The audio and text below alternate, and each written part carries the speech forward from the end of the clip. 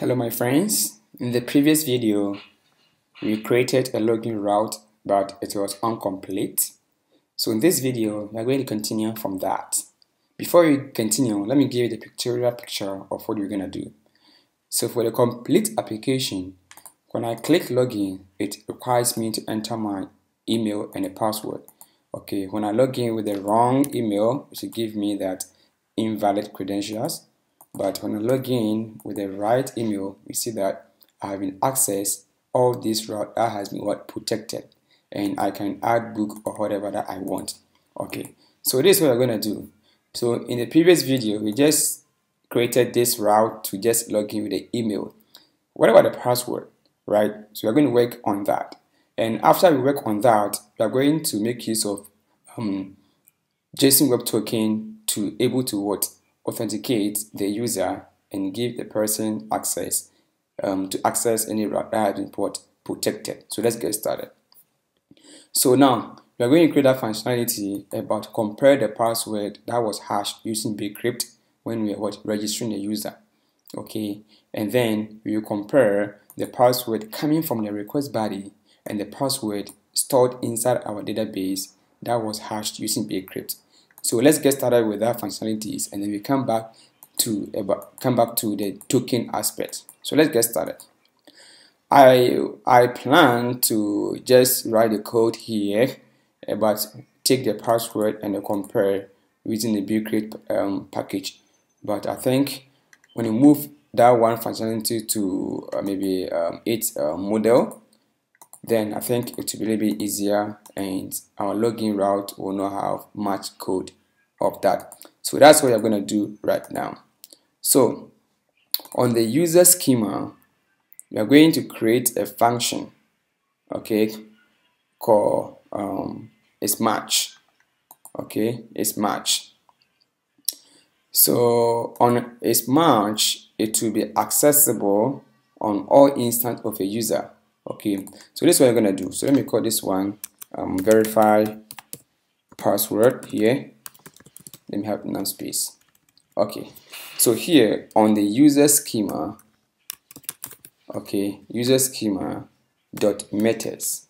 Okay because I want to have I want to use this methods method on all instance of what? Our user. So here I will name my function as is password. Okay its password is equal to I want to make use of async. And here we don't need to make use of the arrow function because this arrow function don't bind this. Because we want to make use of have, have an instance of all these properties inside of this function so that you can make use of what? Um, this right? Because this representing the current login user. All right so here I'll make use of normal function. And all what this function does is it needs what only one argument called entered password. Okay the entered password will be coming from where? Will be coming from the login here. When you log in here because I need a password I have to grab I have to pass this plain password and give it to this function and then it will compare what is coming back so here I just want to return. This function return true or false? Okay when everything is matched when it's matched it will return true. When it's false it will return false. Okay so i'm going to await the function here and see for bcrypt we have um, a method called compare. Okay and this compare takes in the plain password that is entered password from the request body and then the password on the user. So i'll say this password okay because as soon as we log in we log in we have access to the user password okay? So like this one when you log in like this one let me see login okay? We have access to the user what password. I'm going to compare this one the login one to the entered one. Remember because we took the password here to hash it okay we took the password here and hash it. So we have this internet password and compare to the one entered. If the one entered is what was used to hash the password, then um, bcrypt will compare and return true or false. This is all what we have to do here. Okay so here is is password match. Let me make this clear is password match here. Will be will be accessible on all the instances of a login user. All right so let's go back to the application user route here. And when the user logs in we have that method on as that user dot is password match as that. And then we pass in the required word argument. So here what I'm gonna do is that I'm gonna check the password too. If there's a user okay and user or is it? User dot is password match. Remember it was this is a password match method we use. So I can even go there and copy.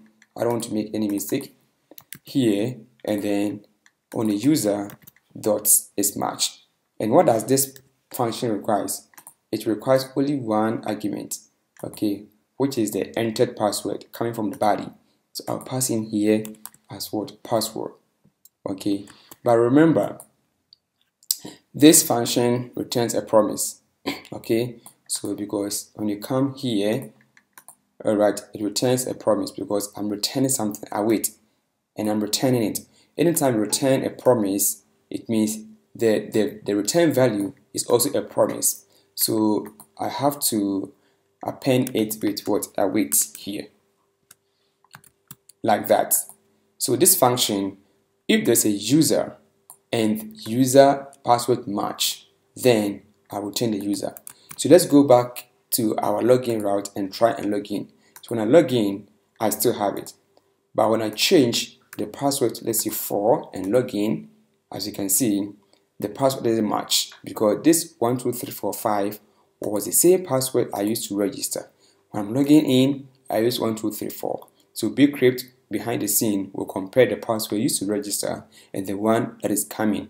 So when I change back to 5, as you can see, I get back my data. Excellent. So we are done. Let me say we are almost 80% done of the login part. So what we are going to do next is that now we have able to log in with the email and the password. Okay, let me change the email to and see if everything work exactly because the email is also matched but I change back to and I get it. So now our server have allowed this user has logged in successfully. So next is how are you going to authenticate the user? Now the user has been what authenticated because it's what logged login successfully. So you're going to give the user um, a, a privilege to access any route that has been what protected. So now I can go back to users and then click on users route and fetch I get back all the users that using right. But for example, I just want to protect this route, these users. I want only only login users to access this route. So how can our server know that? Remember, our server does not what save the user in memory. Okay, so what we're going to do is that we want to allow our server to be able to identify the user using a token. So here you are going to make use of a nice package called JSON Web Token. Okay, and all what is that is that this JSON Web Token will take the user ID and then attach a token to the user.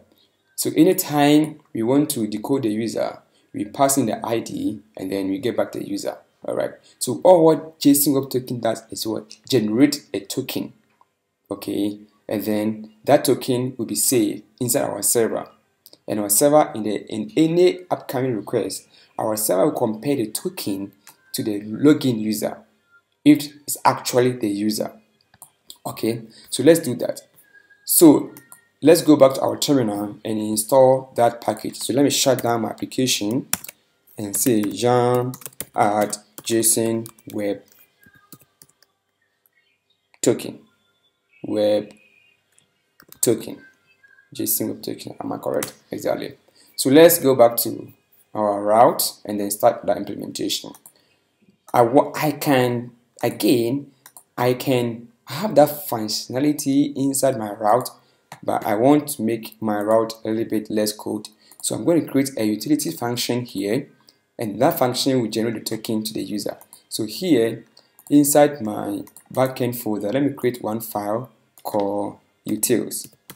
Okay, and then here I'll just create one file say generate. It will be a simple function generate token.js. Okay, so here what I need is I have to import the package I installed from JSON token here. So I will I will say const sorry my side const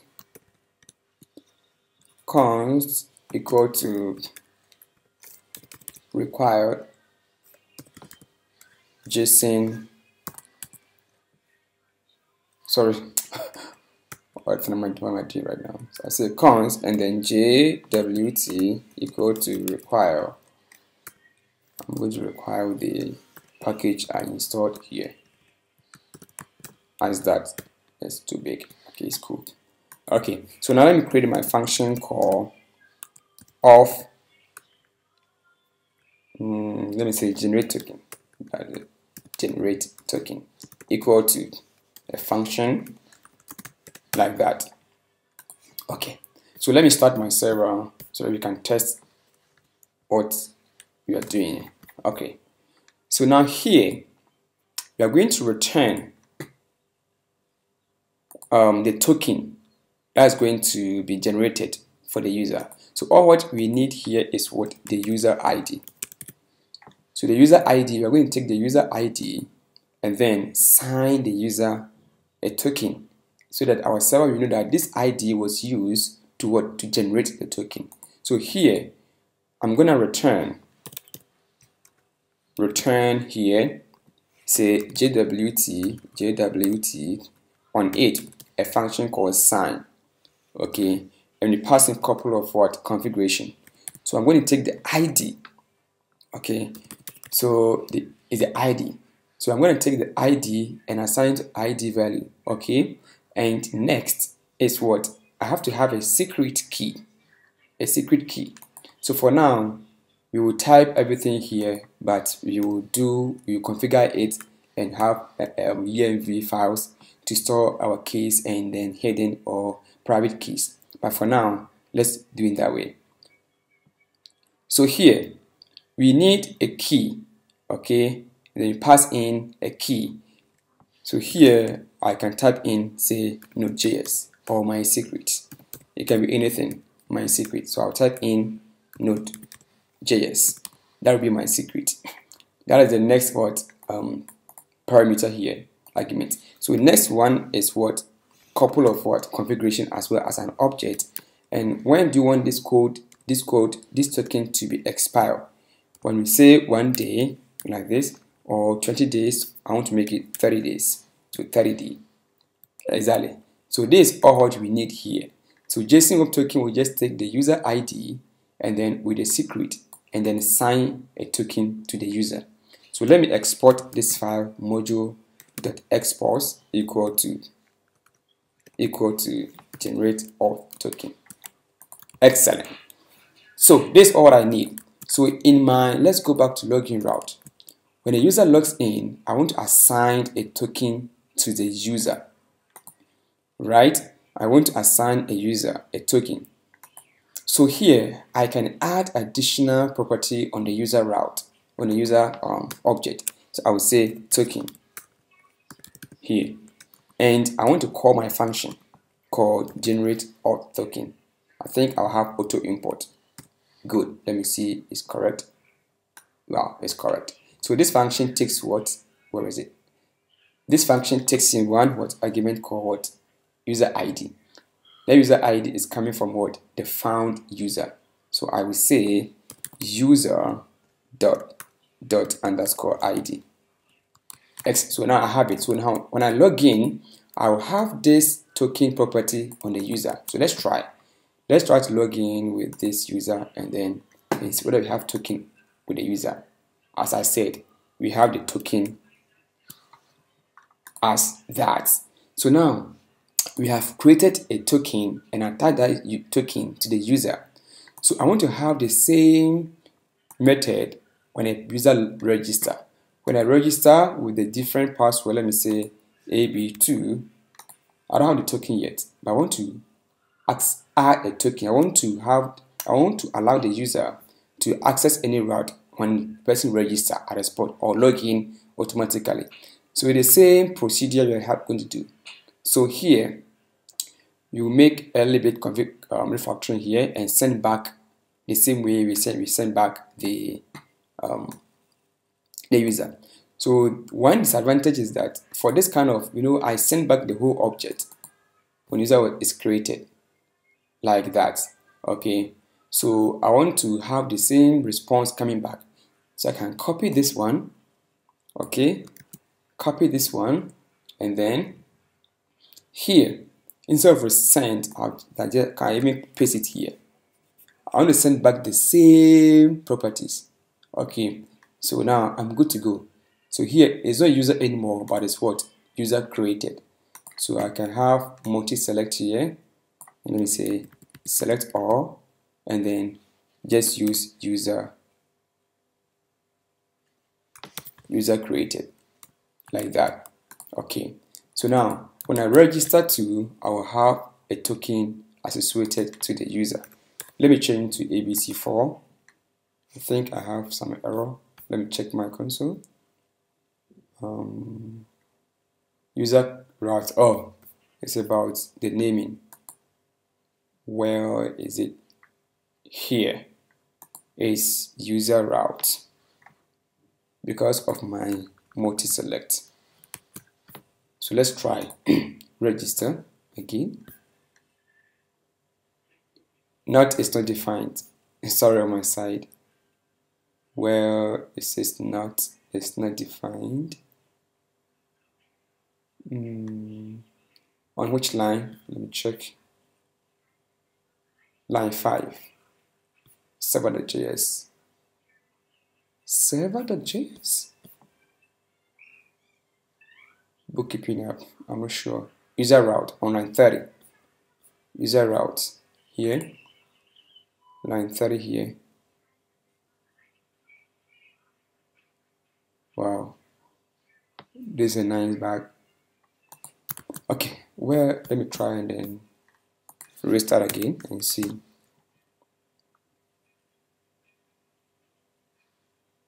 Not a stone defined user route. Oh, sorry, I think is where is it? User route? Users route. Sorry, I make it just user route. It's users. Okay, so let's try. As you can see, I also have the token being what generated. So we are good to go. Now our server is able to what create a user and attach the token to it. So in the next video, we are going to make use of this token to access any route that is what protected.